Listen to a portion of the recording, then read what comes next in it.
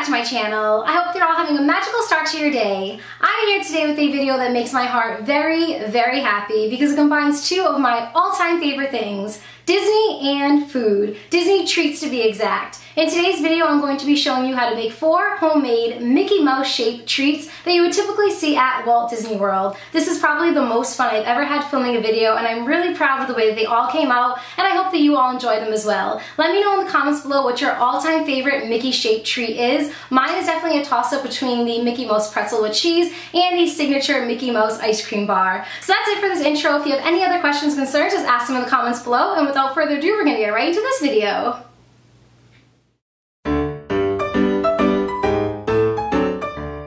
To make these Rice Krispie treats, you're going to start off with a fourth of a stick of butter and throw that into a pan over a low heat. If you do a high heat, the butter is going to burn. So just get that melted down, and once it's all melted down, you're going to take a bag of the Jet Puffed Marshmallows, these are the 10 ounce bags, and throw that on in, stirring it gradually until all of the marshmallows have melted.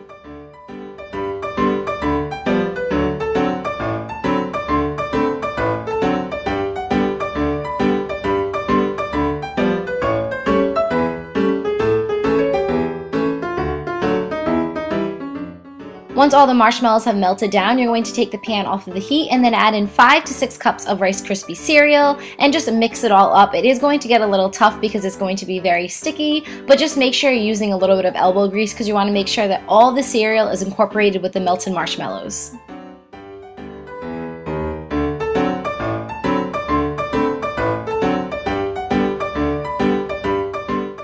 Take an oil spray and spray down your pan entirely. This is really important so that your Rice Krispie treats don't stick to the pan later on. And then just take your Rice Krispie treat mixture and pour it onto the pan and spread it all around. I find that taking a wax piece of paper and pushing it down really helps. It won't stick to your hands and it really helps to spread out the Rice Krispie treats very evenly onto the pan.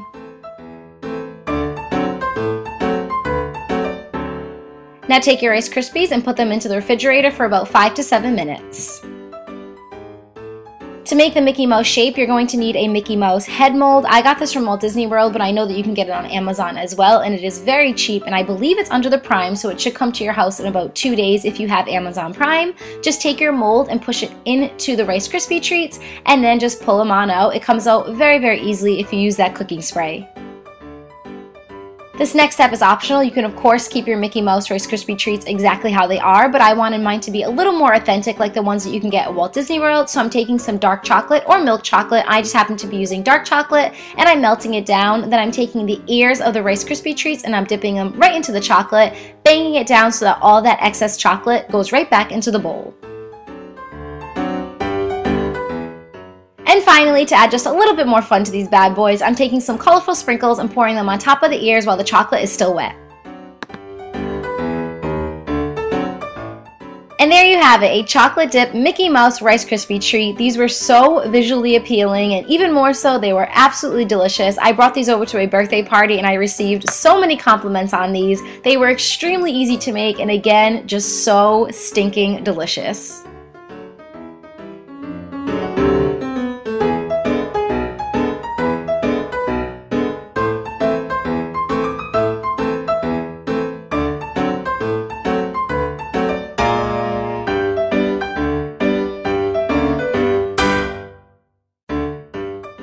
This next Mickey Mouse shaped treat is my favorite of the video. You're going to start off with some Pillsbury pizza crust, open up the container, and then roll it out on some wax pieces of paper. I don't have a rolling pin, so I'm using a wine bottle, but just use whatever works for you. Then cut out two rectangular strips. Mine were about two inches wide. And take one of those strips and cut it in half. Then you're going to take some Nutella, place it in a Ziploc bag, cut off the tip, and just squeeze out the Nutella into the center of each of the rectangular pieces.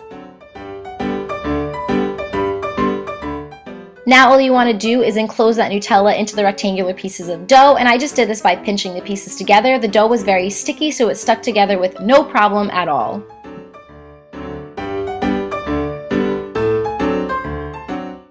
Now you just want to take the dough pieces and assemble them into a Mickey Mouse shape. I'm just taking the ears and pressing them down into the dough. Like I said, the dough is very sticky, so it had no issue sticking with each other. Next, I took some melted butter, dabbed it onto the dough, and then finally I took my cinnamon sugar and poured it all on top, placed this into the oven on 350, and I let it bake until it got brown. It took about 10 to 15 minutes, and look at how beautiful it is. Oh, it was so visually appealing again, and on top of it, it. This was probably the most delicious thing I've ever had. I cannot believe I lived my life without making one of these. This was so easy to make and on top of it was just seriously the most delicious dessert I think I've had in a really, really long time. I highly, highly suggest everybody making one of these at least once in their life.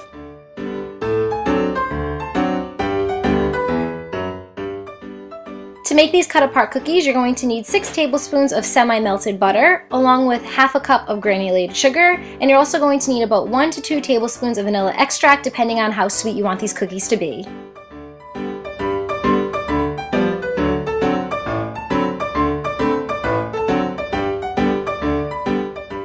The next thing you want to do is mix it all together. You can of course use a hand mixer for this, but I don't have one of those, so I'm just using a fork and it works just as well. Once your butter, sugar, and vanilla extract is creamed together, you want to add in one egg and continue to mix it until everything is incorporated.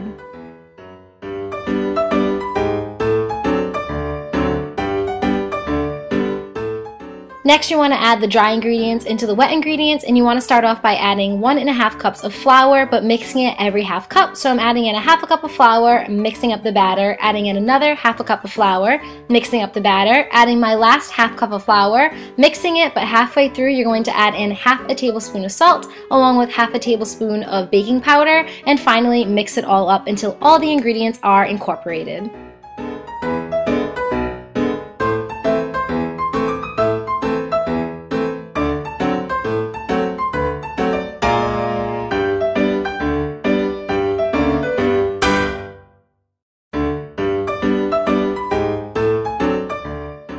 Once your batter is complete, you're going to put it on some saran wrap and then wrap it up in the saran wrap and put it into the refrigerator for about an hour.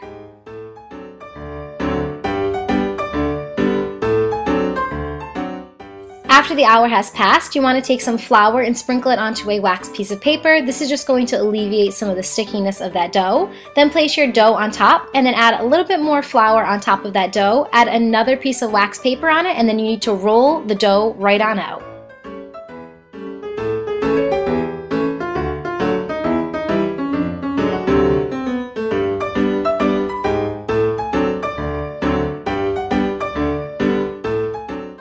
Peel back that first layer of wax paper, then take your Mickey Mouse mold, press down, and start cutting out all of your cookies.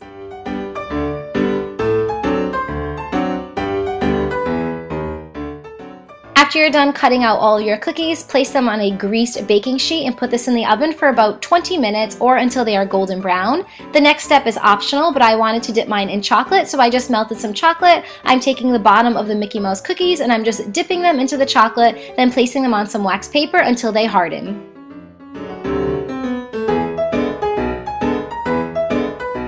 And this is what your final delicious treat looks like. This was a mix between a shortbread cookie and a sugar cookie, just the perfect amount of sweetness. And if I can just make one suggestion, it would be if you are trying to make cut apart cookies, really stick to a recipe, whether it's this recipe or one that you find on Google. Try not to get the roll of cookie dough that you can get at the market because those will just expand and they will never keep their shape. So yeah, just really try to use a recipe and you'll have perfect cut apart cookies.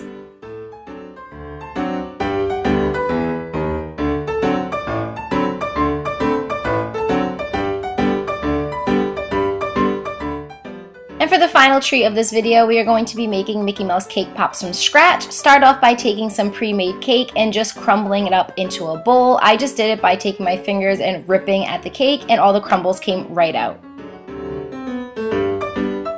Take a generous scoop to a scoop of a half of frosting, throw it into the cake crumbles, and start mixing it around. I find that less is more when making these. If you use too much, it's going to ruin your batter, but if you use a little bit and find out that you need more later, you can always add more into the mixture later on.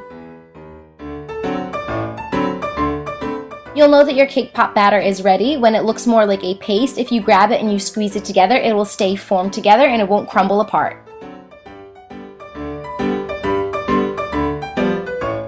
Now just take a handful of that batter, squeeze it together, and really add some pressure to this while you are squeezing it and rolling it together. The whole point of this is that it is going to stick together when you're putting it into the chocolate. So again, just squeeze and add a lot of pressure while you are rolling these into little cake balls.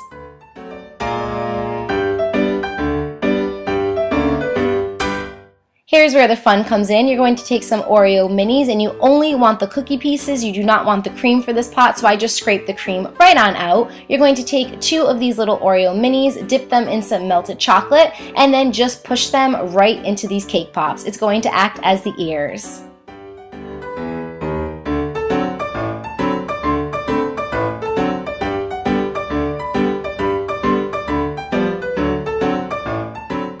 With your semi-frozen Mickey Mouse cake pop, you're going to take a popsicle stick or you're going to take a cake pop stick, dip it into some chocolate, and then push it right into the bottom of the Mickey Mouse cake pop. Then I took all of my cake pops, put them back on the wax piece of paper, and froze them again. While I was freezing them, I started off with the little yellow buttons. I am taking some of the Starburst. They're the little mini ones. They're the unwrapped ones they're called, and I'm taking all of the yellow ones apart. You can basically use any candy with this, but I find the Starburst, Starburst, excuse me, are very moldable. So I'm just cutting each one of them into four and then I'm taking my fingers and I'm molding them into little ovals.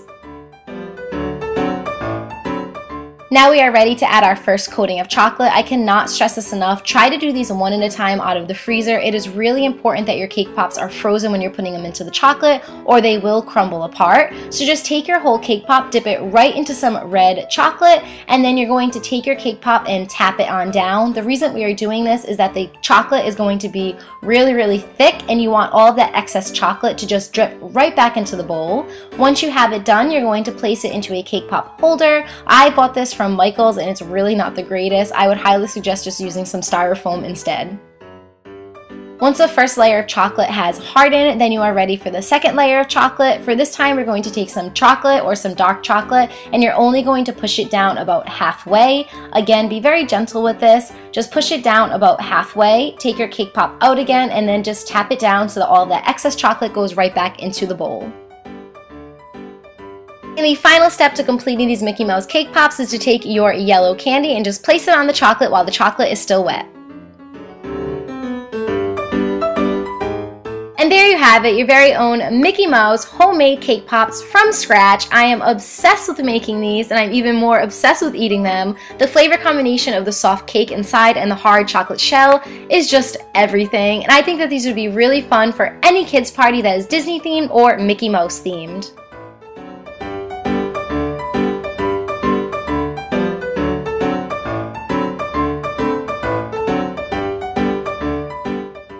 It for this video. I really hope you enjoyed it. I had a lot of fun filming it. Thank you guys so much for watching. I hope you're having a magical day and I will talk to all of you soon. Bye guys!